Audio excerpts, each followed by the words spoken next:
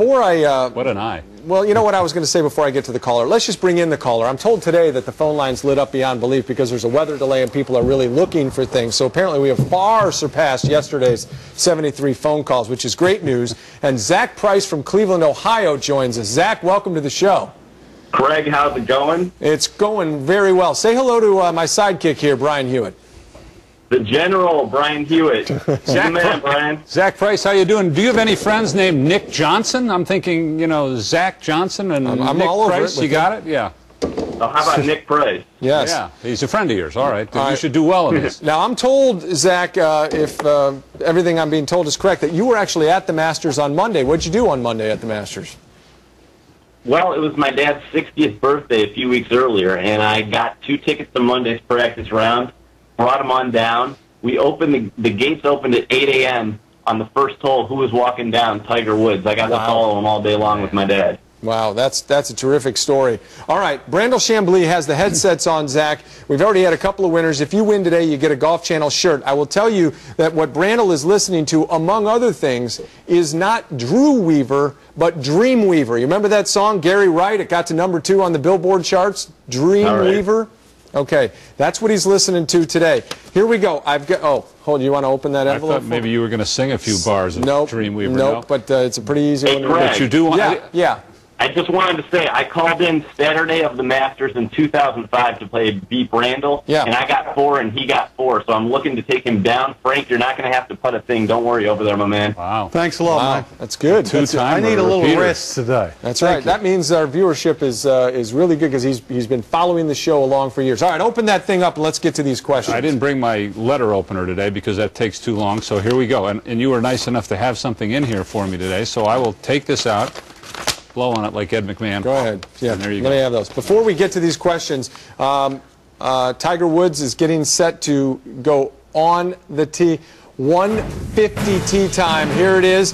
He is playing alongside Andres Romero today. So uh, know that as we move along here. Third round resuming at 140. We're back at it, and Tiger Woods getting set to step to the first tee at 150. That's Woods and Romero at 150. Okay, back to beat Brandel and uh, Zach Price from Cleveland, Ohio. Here we go, Zach. Good luck to you, all right?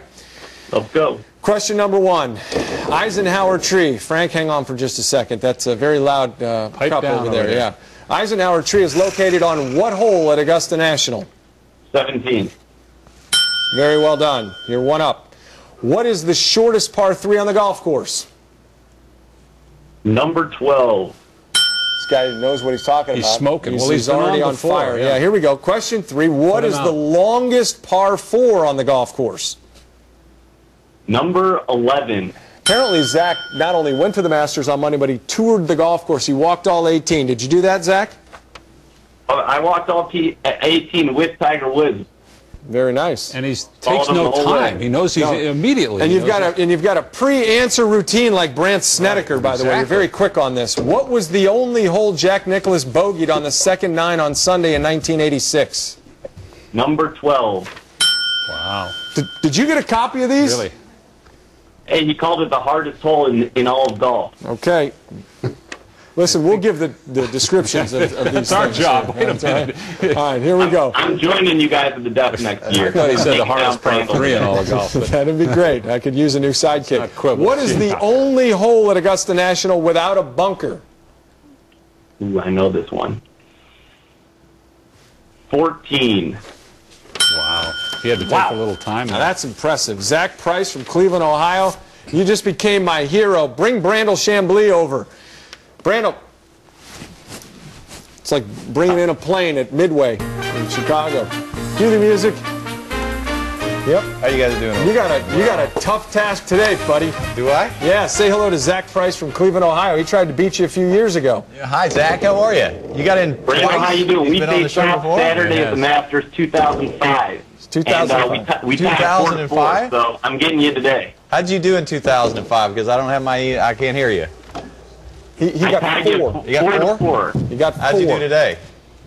He Well- got five today. He smoked. I don't He think got a caller has ever got today. five. He got five You just today. broke the record, Zach. We will update you on the leaderboard when we come back. The defending champion, not Zach Price, but Zach Johnson, is making a move. That's what you do on Saturday at the Masters. Stay with us. Live from returns after this.